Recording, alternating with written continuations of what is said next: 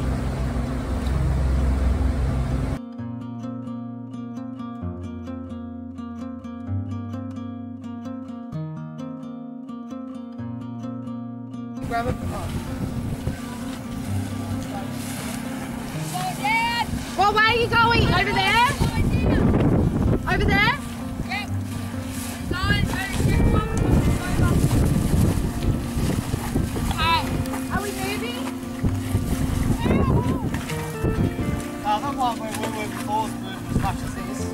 I know, I've been watching this on the my rock. Ready, Mum? Try toss it to Mum, Once again, just leaving Nara Resort, kitties are all on the table inside, escaping the elements. once again, Captain Craig's at the helm.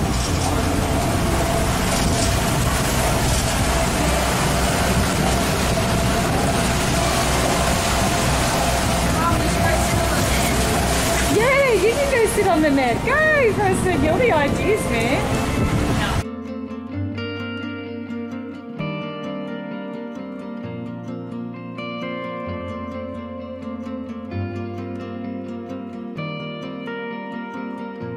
Got one fishing. Have you caught anything? Yeah, lure. That's great. What a lure. You caught a lure, don't spike me. Let's go, let's see your cast. Oh, That could be better, but it's good. feel like it's good. Okay. You told me not to do that. We've got a waterfall you up there. That's why all this water's kind of darker.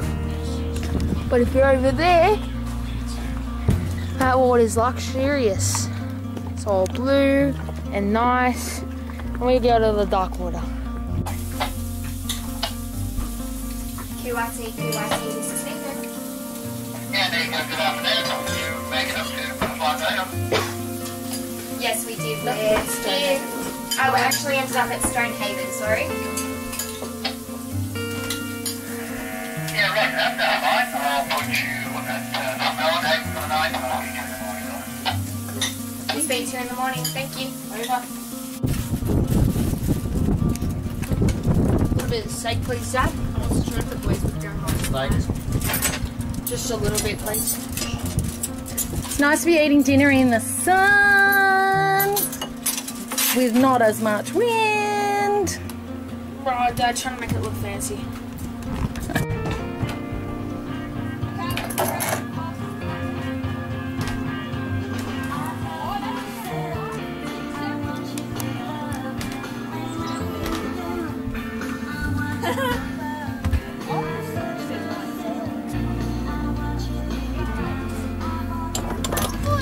Straight away.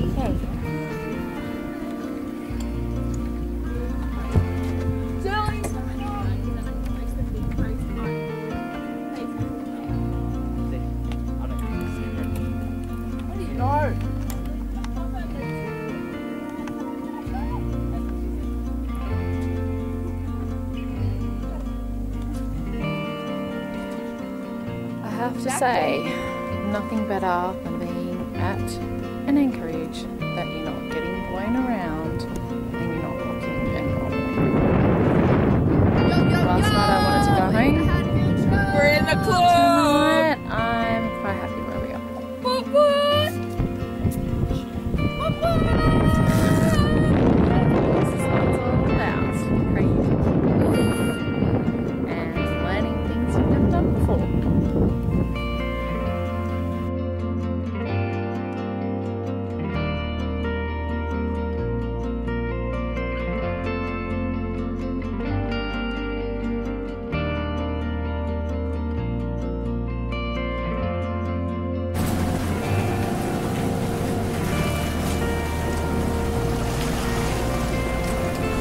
Stonehaven, heading to Cid Harbour. Worried about what we're going to go into with the 30 knot winds, but anyway.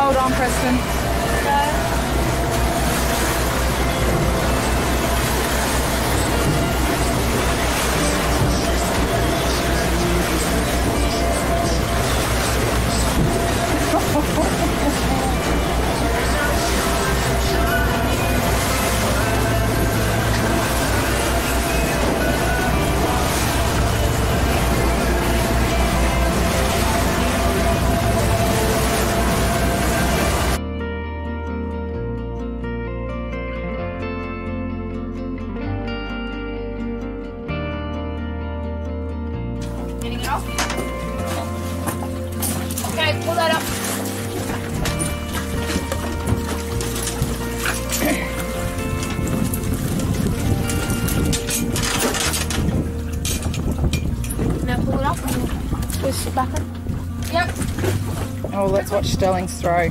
Pressure's on. You're on camera. And the shocks are up so if you don't use it, don't.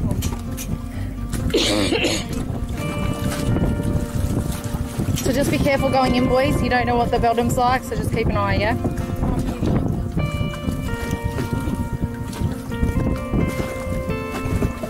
I know I'm a multitasker, right?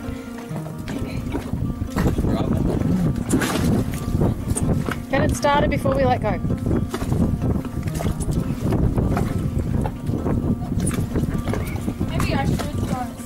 Have you opened up the petrol?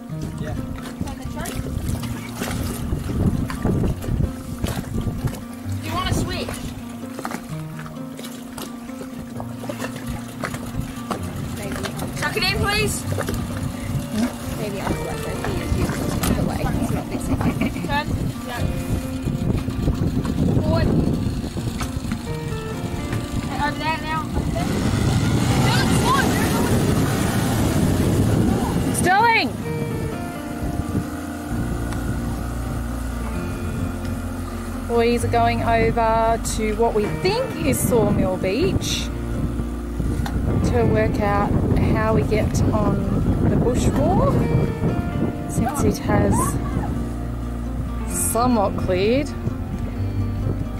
but still not great.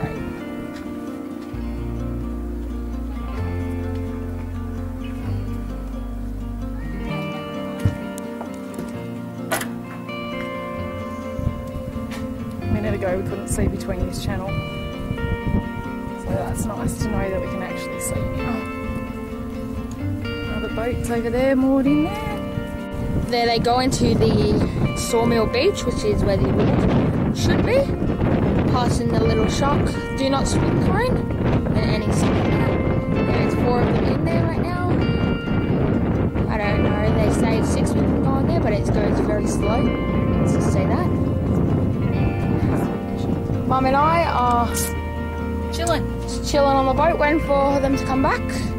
Well, yeah, we're taxi too. So there is a little dip at. This is what happens when you get your shoes all sandy and muddy. Have to clean them out. Just went to Sawmill Beach, came back.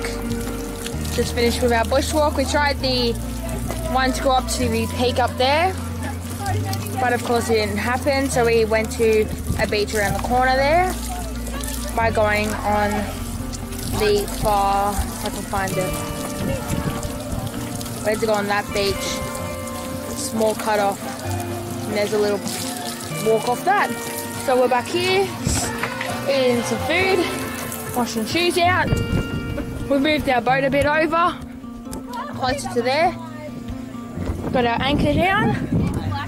And we've got all the, the fam just drinking over here. I wish you just got Brighton casting because it was atrocious. Oh yeah, I know, I saw it, but I didn't get on film.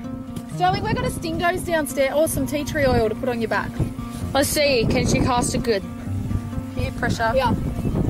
Oh, she's given up. But she's still untangling from the bus cast.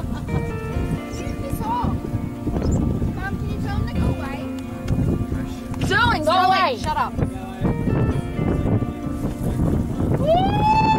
That was a much better cast, ladies and gentlemen. Bryson actually succeeded for once.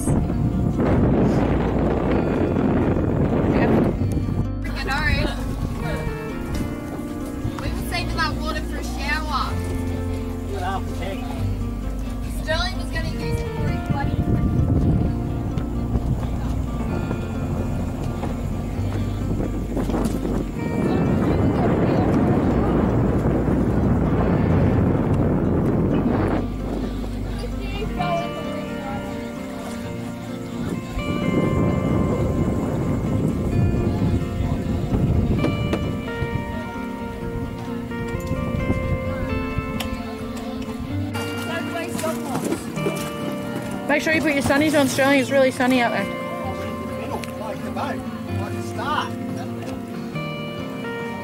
Probably together.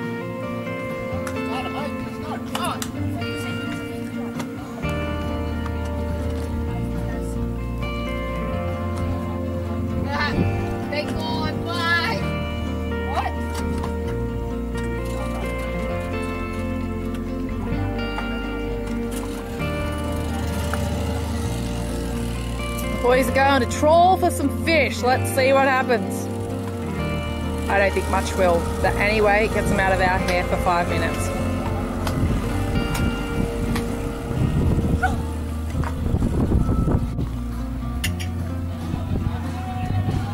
And the girls are doing what they do best. Bye bye, Cid Harbour. So we are leaving Cid Harbour now. We're going through that channel there. It's still raining. You can see other boats have left through there. Here we go.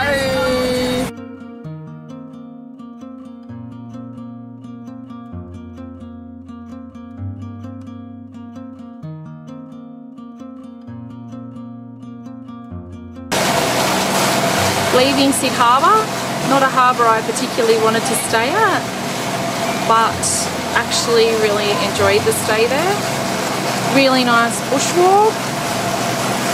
Couldn't get right up to the peak though.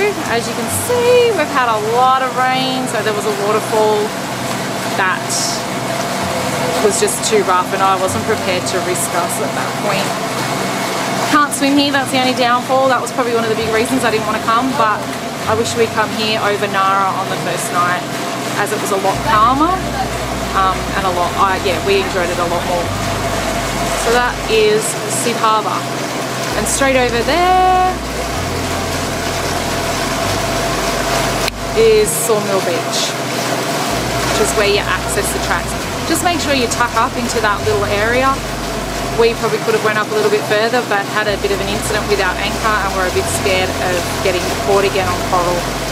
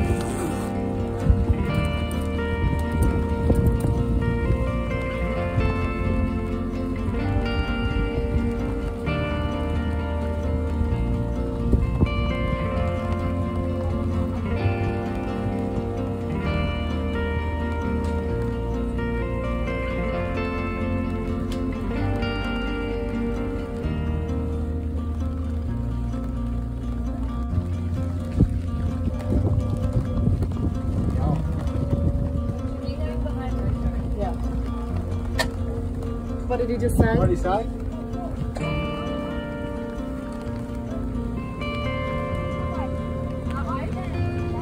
Where are we going? In the middle. Nothing between those two. Good luck. Which side would you back on forward and back? Show me that road good, please. Your parking spot.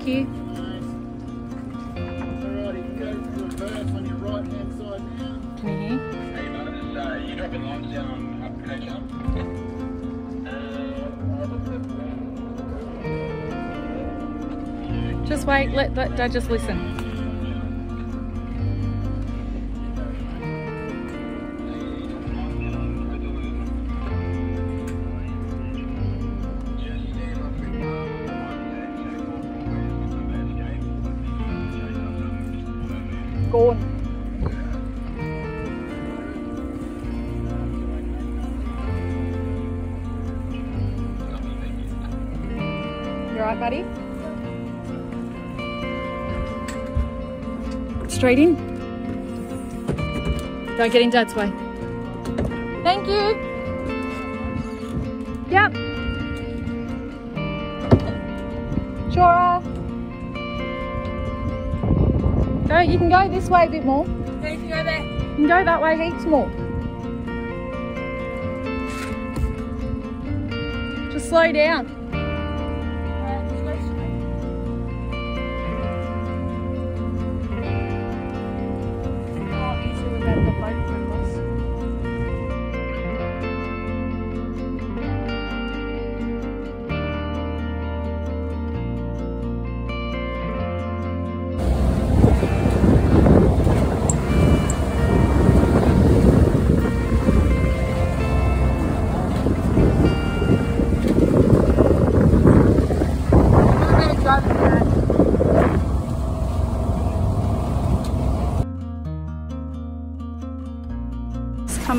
Solway Passage. Hamilton is back over in that direction, behind those mountains kind of thing. And around the corner, very excitingly, I'm assuming extremely busy for the fact no one has been able to get here, is Whitehaven. Over the other side there is Chalkies. Can't quite see right at the moment. But there we go. You can already see it. Look at that sand. Yeah, there's a couple of boats over in Chalkies. Is he turning? Is he turning? Not yet. Look at that. Oh my god, so much calmer up here. It is absolutely crazy.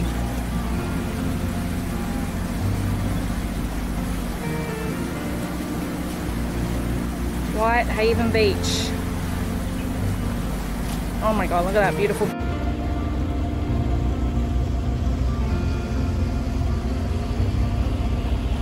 Chalkies Beach. Good diving, good snorkeling over there.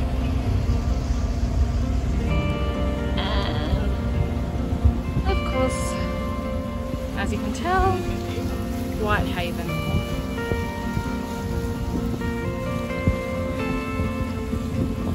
And we are heading to the end of the white sand over there to Tongue Bay, which is just on the other side of that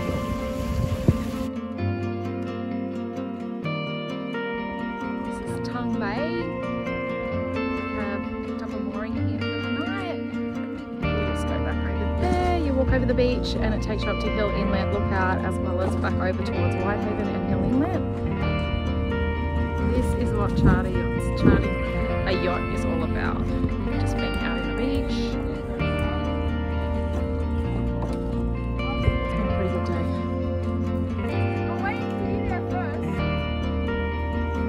Oh my god, you two are being ridiculous. Go, Preston. Ready, set, go.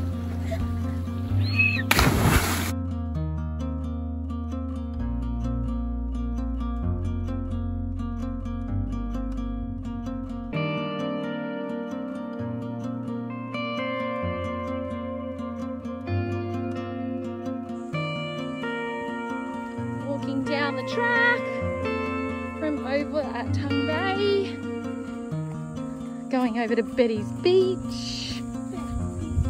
Betty's Beach.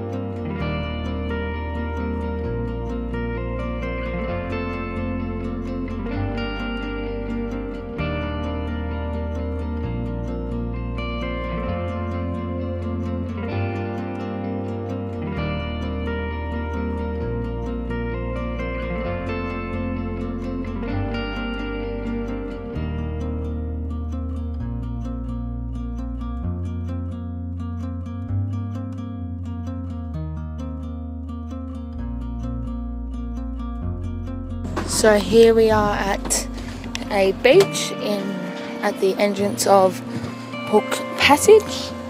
I think it's like Carnes Beach or something. Um, we've got a nice reef all there, over there, and back over towards there. So we're moored up. I'll go show you guys. We're moored up here. On one of them. There's more moors down there.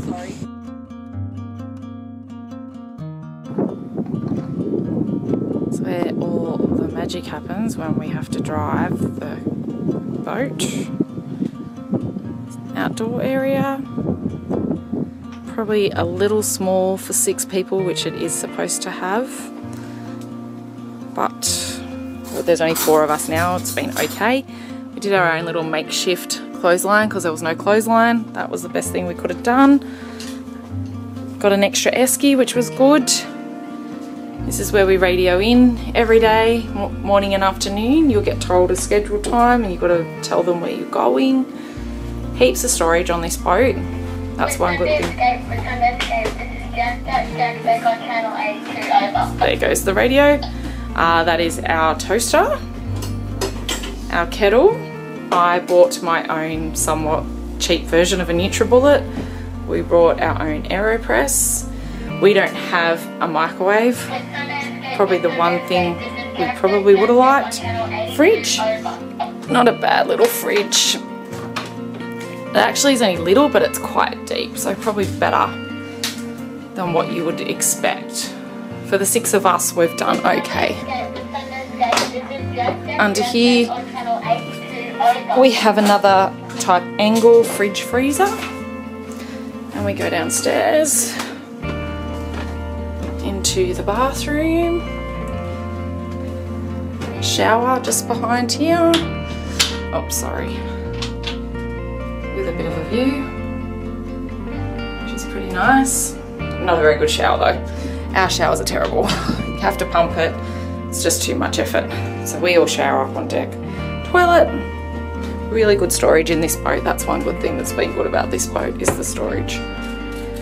That's that. This is the main bedroom. Heaps of storage under the bed. Again, heaps of storage. Don't mind how messy it is. This is our second last, or this is our last day on the water. Then up and over. And this, I hate the thought. Teenage boys. Oh, not too bad. Again, storage under the bed. Not a bad sized bed, that leaves a little bit of headroom on us. Um, all our rooms have fans, which, considering the time of the year we're here, hasn't been too bad. We just leave the fans running at night. And storage. And we um, haven't, yeah, it hasn't, we have our portos open. It just, if it rains, it's a mad dash at night time to clear, to close them. Now this is what we do every day. Open up our Magic Miles book, which is over there. And this is our map of the area. So you can see it's all marked out. The black is where you're normally allowed to go. The red is where you're only allowed to go to in the winds. Anyway, I'll show you a bit more of that later. This is our chart that we pull out every day, morning and night, to work out where we're heading to. The black line is where you usually can go to, but because we had such strong winds for our first three, four days, we were only allowed in all the red areas, so we were confined to this space here. So we left Abell Point Marina and we sailed out and around we were going to head straight across, but because the seas were so rough, we ended up tucking in behind North Molle and we went through No Passage and then across into Nara Inlet. We actually anchored up in this little area up here and we got stuck the next day for an hour and a half and couldn't get our anchor up. Not a great start to the day. That probably took us two and a half, three hours but as I said, the weather was absolutely nuts. Um, we sailed from Nara around to Stonehaven the next day with the wind behind us. We had a southeasterly. Um, it took us probably about an hour, maybe a little bit more. We got a really nice little anchoring, a little mooring right in front of a waterfall. Then we so we sailed from Stonehaven down and across into Cid Harbour against the wind again. That probably took us about two hours. Cid Harbour the next day, we came around through here and into Hamilton, which took us probably just over an hour. Uh, we had a night at Hamilton. Our girls flew home from Hamilton, and then it was just the four of us. And after that, the winds had dropped, so we were allowed outside these red zones. So the next day after the on the Tuesday, we sailed out of Hamilton, around and up through Solway Passage, past Whitehaven and into Tongue Bay, which was probably one of all of our faves. Um, that took us probably about an hour and a half. Tongue Bay, we came back to Whitehaven, had a little bit of engine trouble. We were just going to go back for a swim, but one of our engines actually stopped working and had overheated. So when we left there, we went up to Cateran Bay, but we were only allowed to go slow to make sure that our um, engines didn't overheat again. Then our last day, we left Cateran Bay, we came through Cairns Passage to the little beach here, Cairns Beach. And then we had stayed there for about an hour and then we headed back round here and all the way down through here into Sandy Beach, which is where we are at South Molle. Tomorrow it'll be a quick hour or so back to Airlie, and that is it.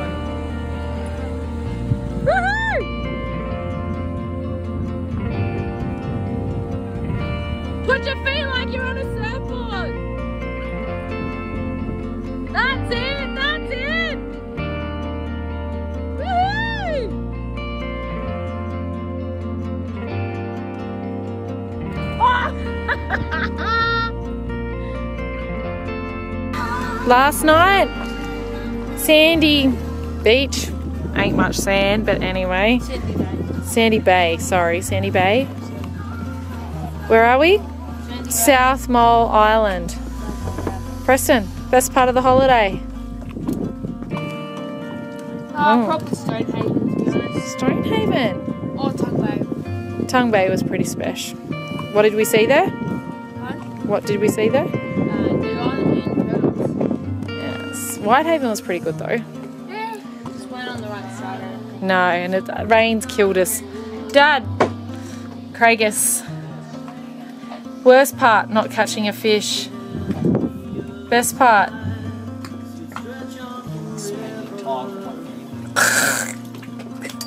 you're so such a sucker.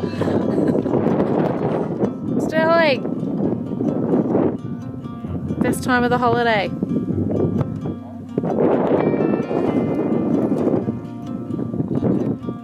That's not an answer.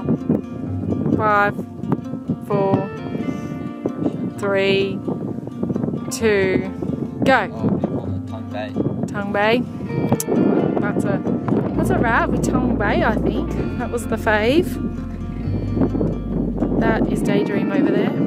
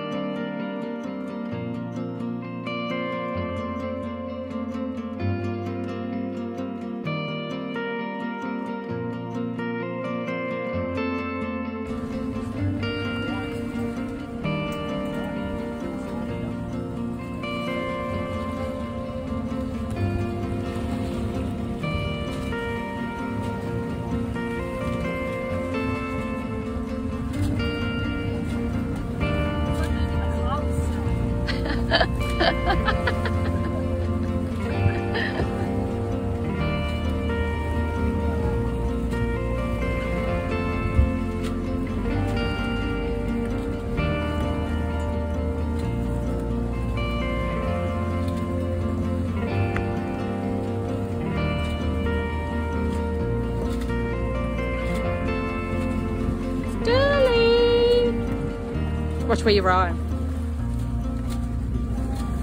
Calling and then telling us where he's driving. Shouldn't be distracted.